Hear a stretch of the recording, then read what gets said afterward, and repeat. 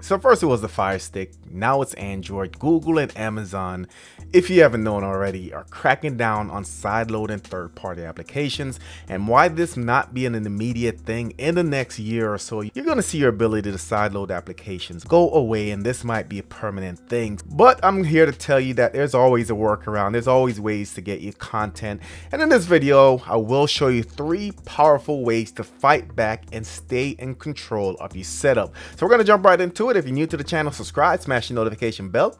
Let's go.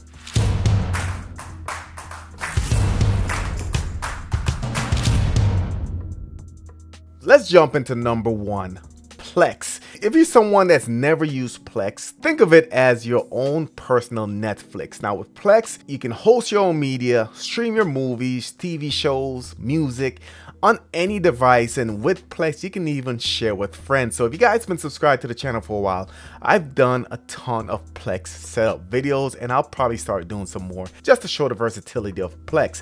Now the best part of Plex is that it doesn't depend on side loading.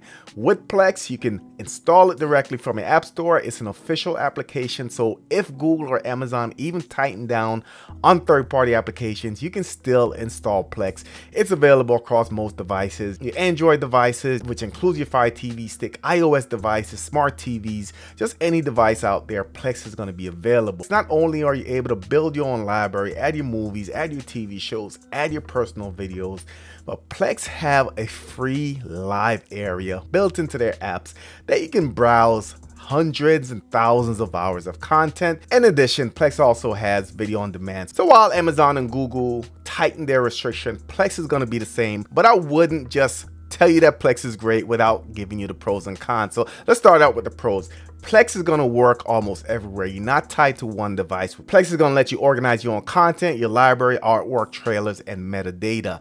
Plex is also going to have official support, so it's not an app that's just going to disappear in the next year. This has been running for a long time. It's going to stay running for a long time. Plex, of course, includes extras like free ad support television as well as live TV. As far as the cons, you can use Plex as a standalone application. You install it, you watch your content, that's it. However, if you want to add your own media server, or if you want to set up your own media server, it can get a little bit technical. And like I said, I've done videos on this and and I'll probably start doing some more just to help you guys out. So remote streaming, so streaming on your iPhone, stuff like that on the go, may need a Plex Pass, which is a paid service. And if you watch my Plex setup, I kind of go in more details on that. And lastly, if your server or your internet service goes down, so does your Plex. Um, with Plex, you need an internet connection to stream outside your household, and that's just a fact. So while Google and Amazon tighten the restrictions, Plex is going to stay one step ahead because you're running your own content on your own terms. Number two is going to be Kodi. Now, if you've been around streaming for a while, you know that Kodi is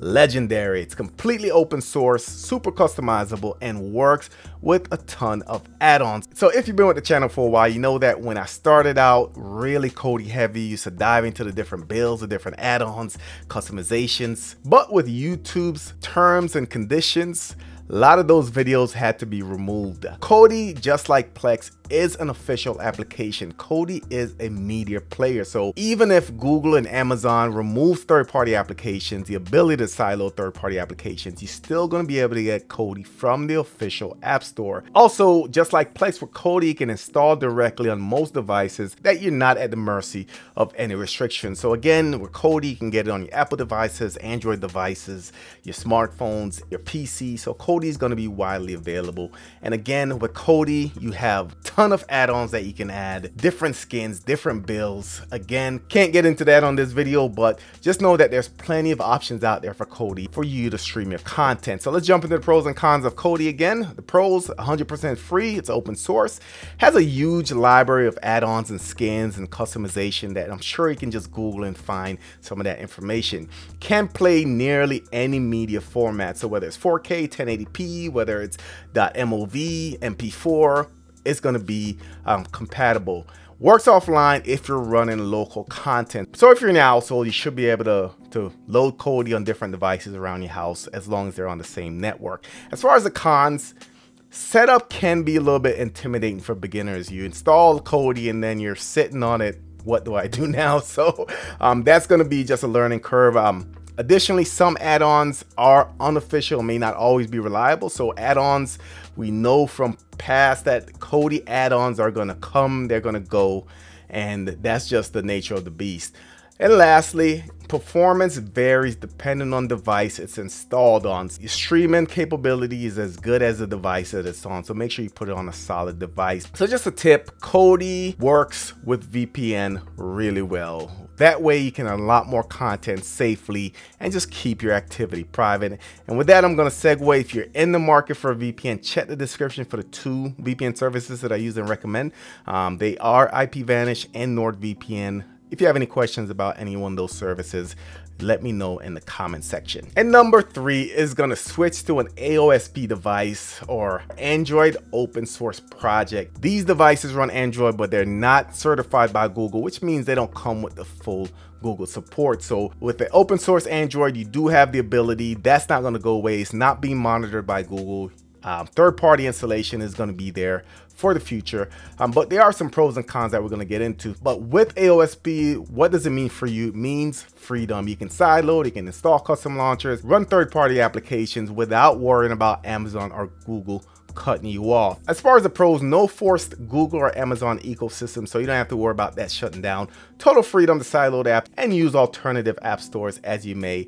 Many devices are cheaper um, than name brand streamers. So you can go out, you can get some of the cheap Chinese boxes.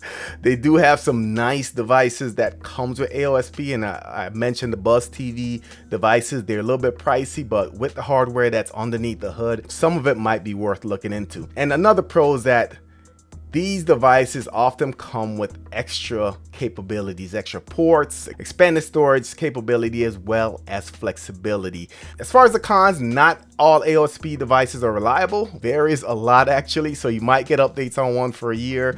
The other one, you might get it for 10 years. The other one, you might get six months. So just do your research before you purchase the device. Updates are slower and may not happen at all. So with the updates to the AOSP devices, they are still being pushed by Google, but it's up to that manufacturer's discretion to force that update or push that update up to that device. So how I like to break it down is the Buzz TV Power Station 6, for example.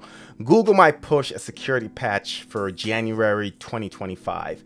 However, Buzz might not release that to the devices until March or April. So it kind of depends on the schedule of the manufacturer. The last thing, and a lot of you guys are concerned about it, some models may have questionable security. And this is where I'm going to say research, research, research. Look into a company that you trust, company that's uh, got a reputation, and just know that some devices you may have to set up burner accounts for and just tread real lightly. Google and Amazon might be trying to shut things down, but you've still got options. Whether you're building your own media hub with Plex, customizing everything with Kodi, or going full open source with AOSP, you don't have to give up your streaming freedom. So which one of these do you think is the best solution? Drop your thoughts in the comment section. Of course, I love to hear it. Also, any videos that you guys would like for me to do, drop that in the comment section as well. Don't forget to hit the subscribe button, like this video.